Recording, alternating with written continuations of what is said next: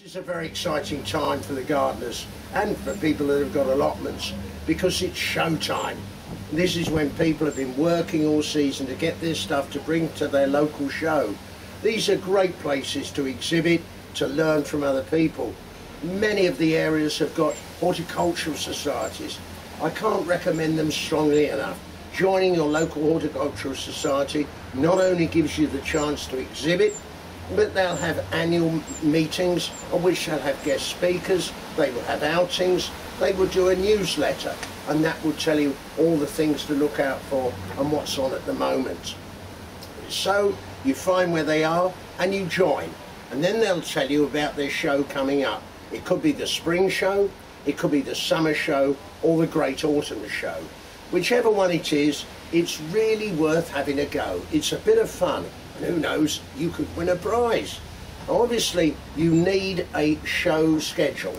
Now, these will be printed and given out by the societies. And this is the first essential thing you have to do. Acquire the schedule, look at it, and see what you think you can enter, and then study it. Because as we go round, it's so many peas, so many carrots, so many stems. And I'll give you an example today as we go around a local show where they haven't read it correctly. Then you will decide what you're going to enter and then you'll submit your form back. Then we come to show day.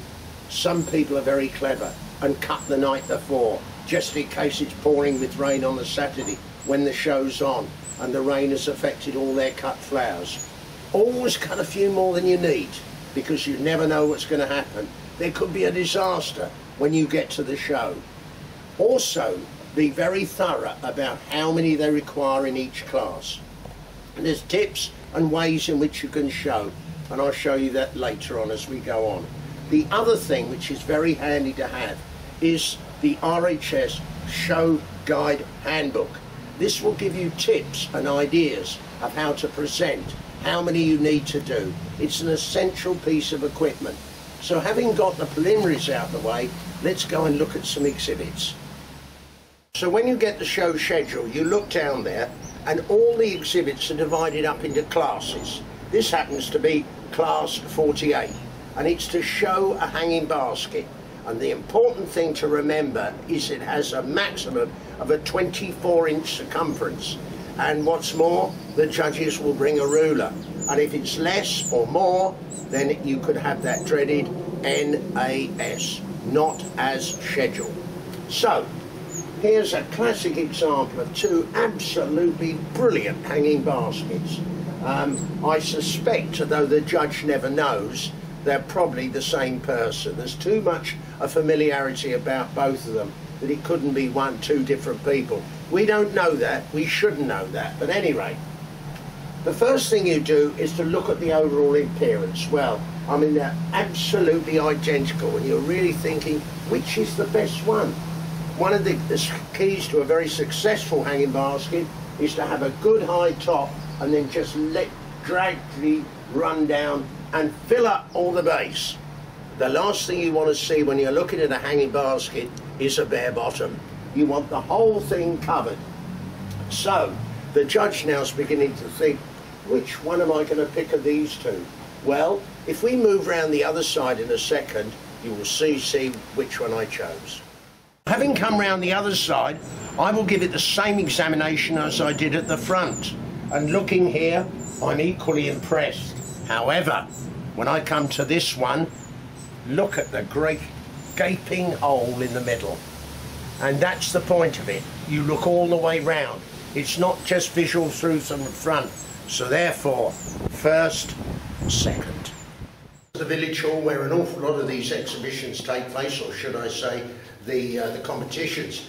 And this is the sort of thing you'd see at this time of year. It's a summer collection of different vegetables divided up into their classes. And so as a judge, you look at them first of all, and it applies to most of them. Uniformity, they look fresh, particularly when you look at the peas, there's a little snag at the end of it, it means they haven't bought them in a local supermarket. And all these things you look at first. Then you will actually take one of the peas out and you will open it to see how many peas in there. Are they looking a bit old?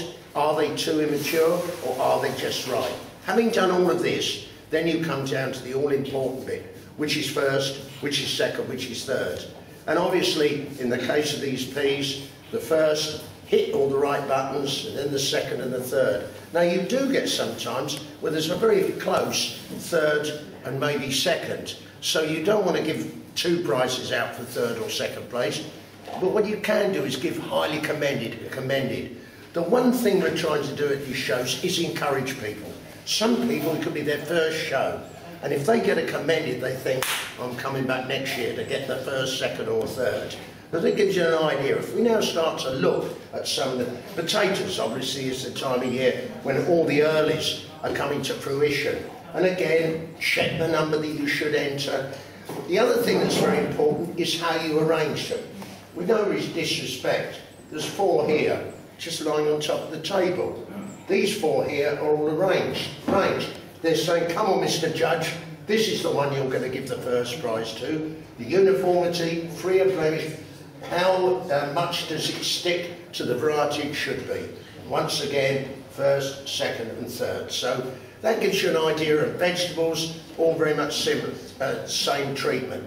Now we'll move on to some of the flower classes, which has a slightly different approach to it. So we're now looking at a selection of flowers, and again the class will say, in this particular case, one vase of perennials. But what it very importantly says is the amount of stems you could put into the vase. And here, unfortunately, is a, a class that hasn't met what it should be. It's six. One, two, three, four, five. Unfortunately, all judges hate doing it, NAS, not as scheduled. However, still a great range of perennials and then vases of mixed roses and so we go on. Sweet peas. All of it at this time of the year is absolutely buzzing in the garden. I think the one thing that exhibitors hate doing is cutting them because they want to see them in the garden. But at the same time, if they pick up a certificate that has that magic first prize, it's all worth it. This, of course, is really all the hard work done. I've done the easy bit. I've just awarded first, second and third. But the show secretary now is putting it all down to record it. You've got to record everything. You've then got probably a cup that will be at the end of the season for the most points gained at the spring, the summer and the autumn show. All of that has to be sorted out. But the real nitty gritty is the prize money. And I tell you, mega, mega amounts. £2.50, £1.20. It's not the money, it's the fact that you've got something to take away. And then all this lovely array of cups, all donated or given by people over the years. And each one of these will be awarded maybe today. Some of them will be left until the end of the season because in certain classes, the best of the roses, the best of the potatoes, and then there's a cup to go with it. And then as we start moving along, we're looking at where the society hopefully are going to make their money. These societies are run by volunteers, people that give up all their time, but they've got to find the money to keep going. And I'll give you the three examples that most people come along for. Ride through the main gate shortly. And in the old days, they used to charge an entrance fee. Well, it was never much, but it was more fiddly to work out, and so they, they very few shows charge. But where they do make the money, first of all, where have they positioned the raffle table? Right next door to the entrance, and some lovely prizes to win, all probably related to gardening. The next thing that people love to do is to take a plant home with them. So these will be given by other members, um, various plants there for you to buy. But probably the most important place this afternoon is between that hatch at the end there, where you get your teas and your buns and your cakes. That's what it's all about. So if you've never done it, start thinking about it. Enter your local society and have some fun.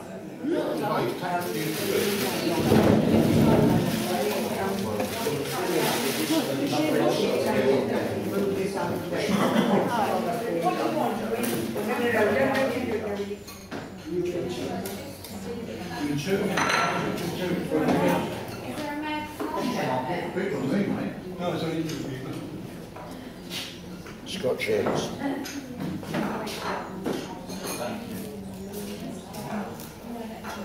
I you there's a taste for the texture, whether it's